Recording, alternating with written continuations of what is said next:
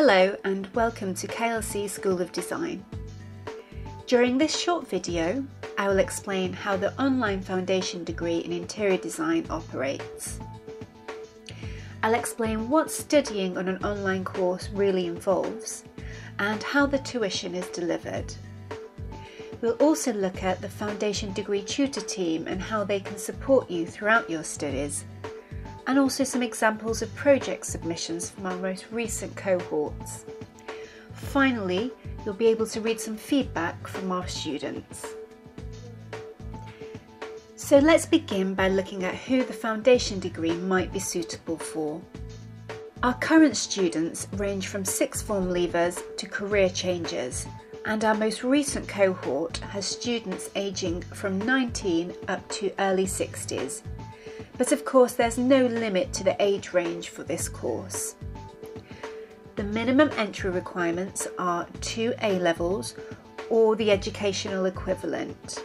Students that do not meet the qualification requirements may also apply using our recognised prior learning route. This allows our admissions panel to take into consideration any skills that you have developed throughout your working life. The online foundation degree is part-time and it requires students to dedicate a minimum of 20 hours study time per week. This allows students to maintain their employment commitments alongside studying. We have found four working days per week is the recommended maximum to achieving a good work, life and study balance. The course welcomes international students and as part of the course design, we have continuously aimed to accommodate international time zones. There are two intakes throughout the year in January and September and the maximum cohort size is 40 students per intake. We have students located in London and across the UK but we also have students located in Europe and as far as Dubai and Singapore. The online foundation degree is hosted through our virtual learning environment. This is a space which allows students to access everything they require to complete their studies. Students access course materials through the curriculum, they submit project work and track their grades and progress throughout the course in this area. Students can keep their own diary entries through the My Journal facility, and they can also access their peers' profile page and use the private messaging facility to connect with their peers. You can also manage their time using the to-do list function and connect with the careers department via the My Resume section. Finally, students are able to ask questions using the coffee shop forum. This is a space that allows students to collaborate, ask questions and share ideas. Let's take a quick look at the My Curriculum section of the site. The online foundation degree course is timetabled. There is a set start date and end date, and each term runs for a period of 12 weeks. There is a detailed timetable which explains what you should do each week, and along with the instructions, there are various course notes, online lectures, and task briefs to work through. The online lectures are pre recorded and can be watched as many times as required. Students have reported that this facility is a particular advantage and the ability to pause and rewind lectures is a great tool for online learning. In addition to the timetabled online lessons, we also run live online lessons. These take place every fortnight using our virtual classroom facility. The live fortnightly online lessons require compulsory attendance from all students. Whilst we were designing the course, we were mindful that we needed to accommodate students in alternative time zones. Therefore, the fortnightly online seminar sessions are run at two different times. Students are able to choose between a 1pm lesson and a 6pm lesson. These lessons are exactly the same, the only difference is the timings. Let's take a closer look at the virtual classroom. Students are able to log into the classroom from home or work and they're able to activate their cameras and microphones. Tutors are also visible at the top of the screen, which you can see here. In the centre of the screen, you can see a lecture presentation which is given by the tutor. To the top right corner of the screen, you can see an attendee list, and beneath this, there is a chat pod where students can engage with one another. Let's now take a moment to look at an extract from a recent online lesson. Hi. So, my question is about hobbies and interests. So you said that you um, like singing and you have a recording room. So um, what music do you like and do you like to sing? Okay, I like that question because I love music. Um, I have always been uh, fairly passionate about music, um, albeit one one genre really.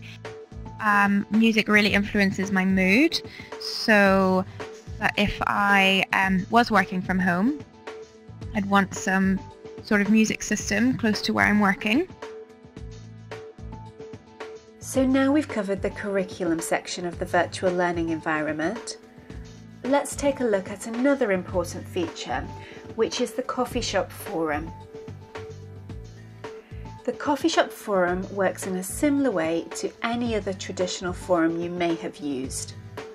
Students can ask questions by creating a new topic the Coffee Shop Forum is monitored by a foundation degree tutor during weekdays and they will respond to students' queries. But this is not the only great feature of the Coffee Shop Forum. Posts can be seen by the whole cohort. So this means that if a student asks a question, the whole cohort is able to benefit from the tutor's response. We also encourage students to respond to each other's queries if they feel confident with the answer. The Coffee Shop Forum has become a vital support system for the online foundation degree. Students regularly check in to see what activity has been taking place and also connect with one another. Let's now look at some examples of student submissions. Project work is submitted online through the My Profile Pages section of the virtual learning environment. Students create profile pages which are very similar to blog pages. Images can be uploaded to the page along with text, documents, mood boards and other various submission requirements that we set. Students also create a short video recording to present their project work and this is also connected to the project page. Let's now take a moment to view a recent video submitted by one of our current students, Lorraine Whiteland. Hello and welcome to you all. It's Lorraine here. Thank you so much for taking the time to listen to my Project One presentation. Without further ado, let's dive in. So here we are at the beginning of Project One and my research. Just to remind you, my apartment is a riverside apartment in the centre of Norwich, overlooking the historic quarter of Norwich. So I started my investigation of the area with quite a specific so on Magdalen Street there is a shop called Loose's which is an antiques emporium and is cited by the client as a place she really likes to spend time and just really loves the experience of looking round. and so I went in and I had a look at these fixtures and fittings and the skin of the building to really get an idea of what was captivating her and I've recorded them in this section. So things like the window with this obscurity glass, the lift door here has proven to be very inspirational and the text above it. Here I'm looking at uh, the parquet flooring and that went on to inspire some imagery, some possible directions, creative directions. Finally, here you can see some feedback that we recently received from our students. Take a moment to read through each of the speech bubbles.